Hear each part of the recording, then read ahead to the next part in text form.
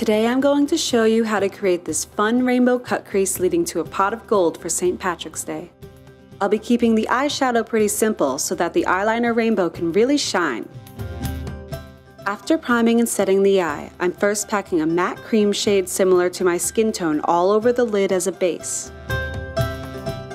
Next I'm sweeping a matte grass green all along the lower lash line.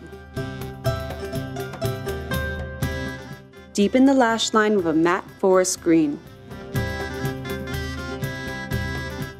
Blend them together before buffing out any harsh edges with a clean brush. And that's pretty much it for eyeshadow. I added a pop of green for St. Patrick's Day, but if you just want to do a rainbow any other time of year, you could do a pop of blue instead, keep it neutral with some brown, or just omit it altogether. The real fun begins now with all of these colorful liquid liners. First, I'm looking straight ahead to see what parts of my eye are visible when it's open. I'm starting with the purple on the bottom because that's what rainbows look like. As I went along, I learned that it would probably make sense to map out the line of little dots first. The first line is the hardest, but don't worry if it comes out a little wonky. We can just clean it up later. Once the purple is done, things get much easier. Simply draw the next color along the edge of the last color in rainbow order. For those of you just learning your rainbows, that's purple, blue, green, yellow, orange, and red. When you're done, it should look something like this. The purple isn't fully visible and the edges aren't perfect, but I don't care. I feel fabulous. Before moving on, I use the back of my hand to test which browns I own would look best for the pot. I chose to use a dark brown liquid liner to outline and fill in the pot. This prevents any of the rainbow from bleeding through.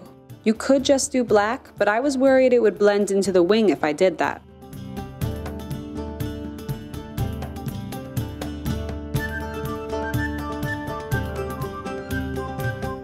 Then I lighten the inside of the pot with a matte fleshy brown. I almost forgot! Clean up the edge of the purple and red if you need to with some concealer, then set it with the matte cream shade. If you get any of it on your rainbow, just go over it with more eyeliner. Next, I'm beginning my wing by following the angle of my lower lash line. Then draw a thin line right against the base of your lashes. Connect everything together, slowly thickening the line as you go. Try not to cover up too much of the pot.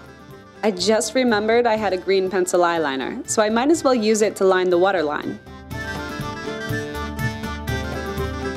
Next, I'm using a white liquid liner to draw a little cloud in the inner corner.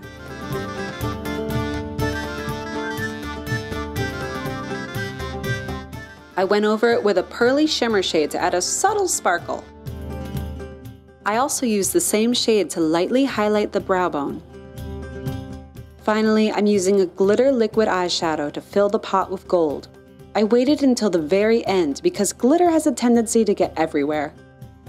All that's left to do is finish off the look with some mascara and you're done. Please like and subscribe if you enjoyed this video.